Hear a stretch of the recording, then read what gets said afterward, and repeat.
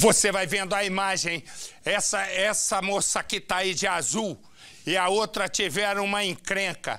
E a de azul matou a de boné que queria ser fanqueira. Ela tinha fugido, foi presa. Acredita que agora, agora ela estava cinco meses na cadeia e ela conseguiu fugir de novo. Põe no cidade. O tempo passa e a dor não alivia. Muita saudade dela, sabe? Não pude nem me despedir porque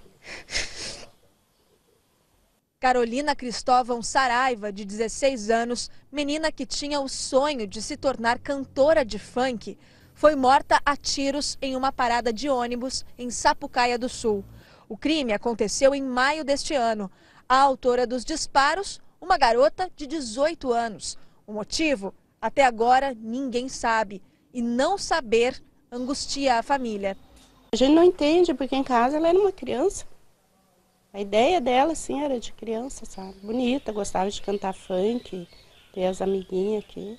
Os parentes desconfiam que tudo foi motivado por inveja, já que Carol não era apenas linda, mas também querida por todos.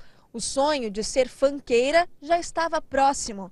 Esta era uma das músicas compostas e gravadas por ela. De semana sabe que a balada é natural. O gelo que me deu ontem na tequila eu botei. E agora curtindo a vida nesse embalo que eu gostei.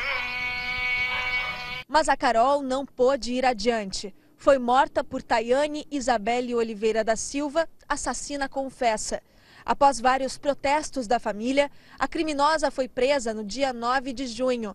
Mas exatos cinco meses depois, em novembro, fugiu da penitenciária de Montenegro e está foragida. Além da revolta pela fuga da criminosa, tem outro detalhe que também atormenta a família. É não saber do que essa mulher é capaz, já que fez o que fez com Carol. No fórum, logo depois da audiência, já algemada, antes de ser levada ao presídio, Tayane fez graves ameaças aos parentes da vítima, que agora, além de tudo, precisam conviver com o medo. ela disse que ia matar eu, minha mãe e meu irmão.